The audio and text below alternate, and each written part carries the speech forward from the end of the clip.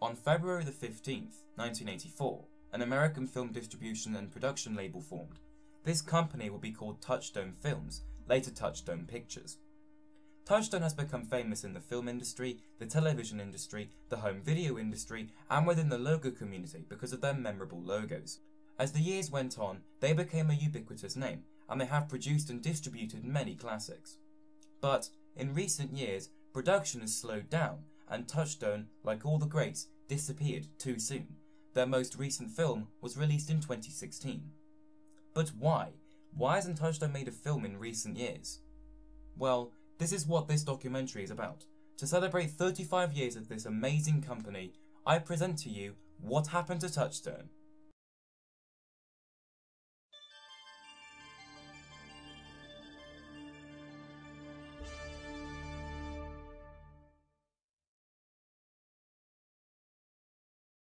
During the late 70s and the early 80s, Walt Disney Productions started to make films that would receive the PG rating by the Motion Picture Association of America, or MPAA for short.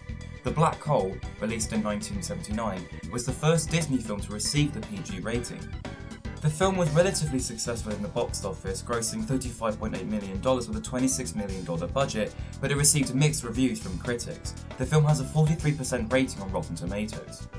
Over the next few years, Disney experimented with more PG-rated content, like the 1981 film Condorman. This film received a 25% rating on Rotten Tomatoes, but it has gained a cult following amongst Disney fans. Other PG-rated films from Disney around the 1980s were The Watcher in the Woods, which did terribly in the box office, Night Crossing, which was actually alright, receiving a 6.5 out of 10 score on IMDb, and Tron, which was well received by critics, getting a 71% rating on Rotten Tomatoes. There was also Never Cry Wolf, released in 1983. This film was insanely successful, receiving a 100% rating on Rotten Tomatoes. The film was rated PG despite it including male nudity, but it did well at the box office. Never Cry Wolf has been credited as being responsible for the establishment of Touchstone, forming four months after the film was first released. Since Disney was now experimenting with PG films for the more mature audiences, the then Disney CEO Ron W. Miller formed Touchstone Films on February 15, 1984, as a label for their PG films. Was this move successful? Yes, indeed. Touchstone's first film was called Splash, released on March 9, 1984. It had a budget of only $8 million, but received $69.8 million at the box office. It has a 90% rating on Rotten Tomatoes. It received a PG rating for including some profanity and brief nudity. The whole point of Touchstone was to make films that would be unsuitable to be released by Disney, and Splash proved this very well. Splash was not the only film from Touchstone from the 80s that would be a success. Down and Out in Beverly Hills, released on January 31st, 1986, received $62.1 million in the box office, having a $14 million budget. It has an 81% rating on Rotten Tomatoes. This film had the distinction of being the first film that involved Disney to receive an R rating by the MPAA. Eventually, Touchstone started releasing films that would receive a PG-13 rating and an R rating by the MPAA. Some include Ruthless People in 86, Outrageous Fortune in 87, and Tin Men in 87. Ruthless People had a $9 million budget but received $71.6 million at the box office and it holds a Rotten Tomatoes score of 94%.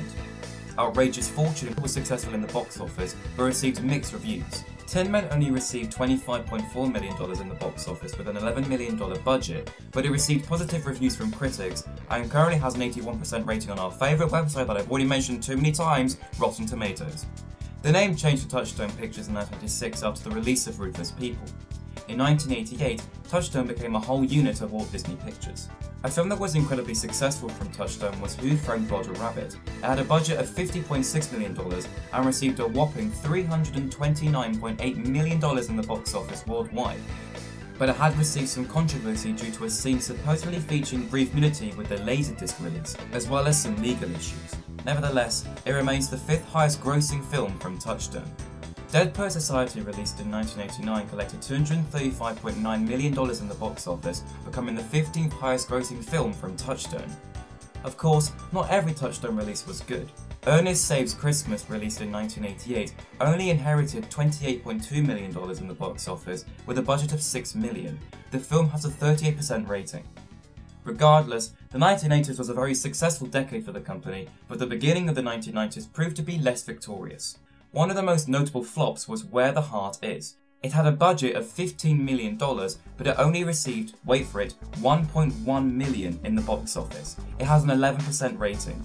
Things started to get better with the launch of Pretty Woman. This film had a budget of $14 million and earned an amazing $463.4 million in the box office and received a 62% rating. On October the 23rd, 1990, Disney launched Touchwood Pacific Partners. It was a partnership with Disney, Touchstone, and Hollywood Pictures, another subsidiary of Disney. This acted as the funding source for films for Disney, Touchstone, and Hollywood Pictures. Speaking of Hollywood Pictures, I need to say that this company was less successful than Touchstone was. It closed in April 2007 because most of their films were poorly produced. There were a few good ones like The Sixth Sense in 1999, which made $672.8 million in the box office. Things for Touchstone were fine and calm until the 2000s arrived.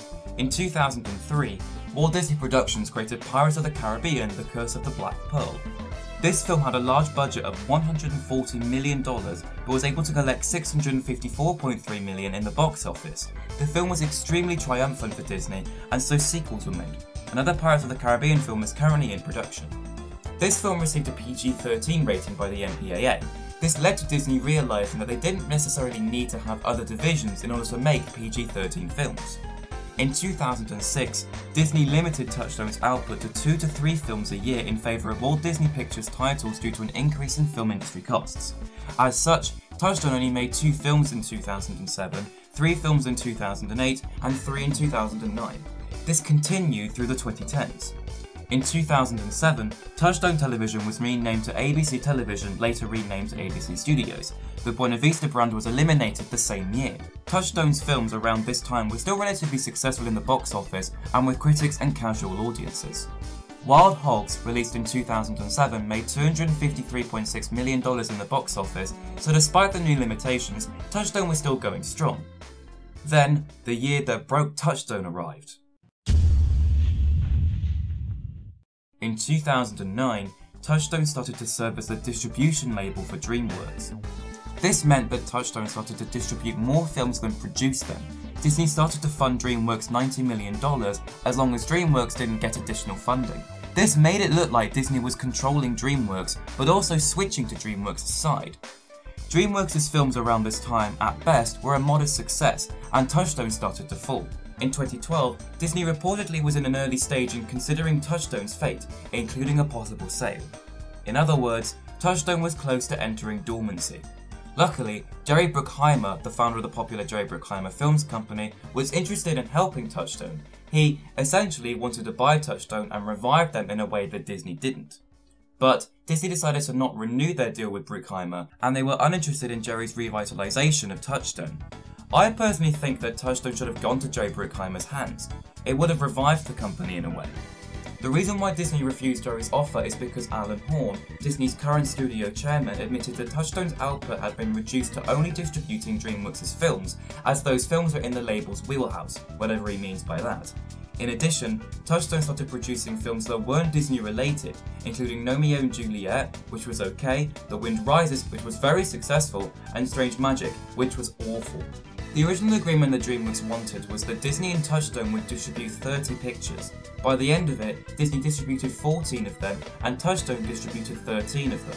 The last film under this agreement was The Light Between Oceans, released first on September 1st, 2016. It had a budget of $20 million and the box office scored 26 million.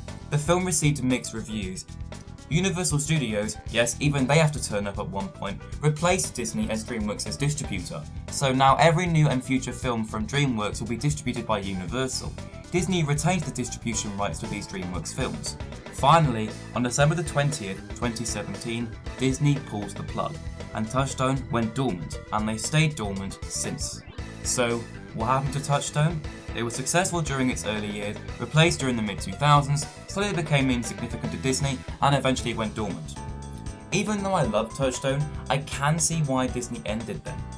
Disney is fully capable of producing films that will receive a PG and a PG 13 rating by the MPAA. But surely, if they realised that now, they should have just sold the company to Jerry Bruckheimer. He would have kept Touchstone alive.